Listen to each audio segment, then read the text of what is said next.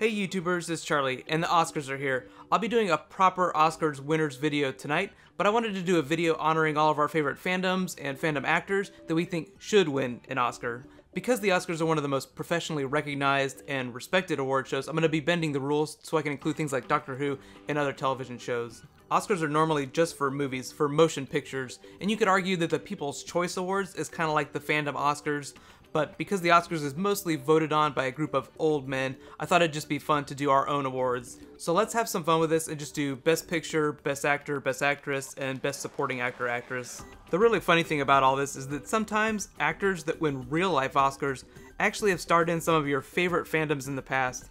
It's just that some people or directors or writers get their start on a science fiction or genre show and then later in life go on to become hugely successful. Part of the reason I wanted to do this is that most of the time the people that vote on the real life Oscars really hate science fiction and genre. For instance, Christopher Nolan has only ever been nominated for an Oscar for his Memento screenplay and for Inception. He didn't win either of them. Inception lost to King's Speech, which is exactly the kind of movie you would call Oscar bait. So let's talk about our favorite stuff and people we feel deserve Oscars. Feel free to add stuff in the comments if I don't mention it in the video. Let's start with Best Supporting Actress. We have to start with Michelle Fairley for The Red Wedding. She's amazing as Catelyn Stark in general, and since the show is so serialized, I'll include her, even though technically it's part of the Emmys.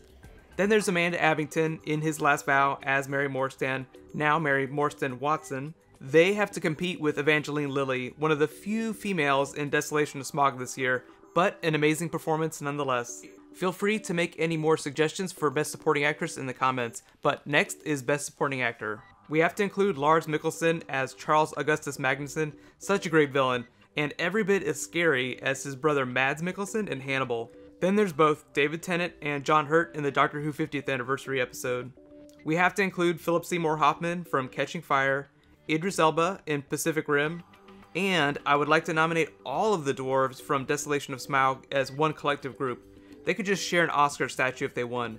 Technically, we also have to include Benedict Cumberbatch as Smaug the Dragon in this category, because even though Smaug is very big, I consider him a supporting character in the story. On to Best Actors, though. These are the leads from each movie or fandom. Starting with the easy one, Jennifer Lawrence in Catching Fire. She'll get attention at the actual Oscars for American Hustle, but it's probably her Hunger Games stuff that most of us know her from. The other easy ones being Sandra Bullock in Gravity and Scarlett Johansson in Her. Great science fiction if you have not seen them yet. Some of the few science fiction movies that are actually getting legit recognition this award season. There's actually a lot of lead actresses on my genre awards list, so I'll try to keep it down. There's Jessica Chastain in Guillermo del Toro's horror movie Mama, Rinko Kikuchi in Pacific Rim, one of the most badass female characters all year.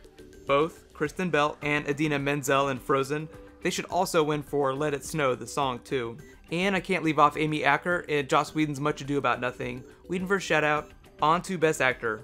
Starting off with Benedict Cumberbatch and Martin Freeman for the entirety of Sherlock Series 3. Matt Smith in the 50th anniversary special. Tony Leung in Wong Kar Wai's Grandmaster as Ip Man. So awesome. Alexis Denisof, also in Much Ado About Nothing. And I kind of want to include Tom Hiddleston for Only Lovers Left Alive, but they moved the release date, so technically it's a 2014 movie. And lastly, we have to include Peter Dinklage for everything, but mostly for Game of Thrones. On to Best Picture. So I tried to narrow it down to the best of the best. There were a lot of awesome things, and some of them are actually getting recognized at the real life Oscars, so it's really cool. First, there's Spike Jonze's Her. It was actually my favorite theatrical film this year, next to Miyazaki's The Wind Rises, two movies that you absolutely have to see. Wind Rises is actually nominated for Best Foreign Language Film, which I totally hope it wins, but I think it should also be included for Best Picture overall.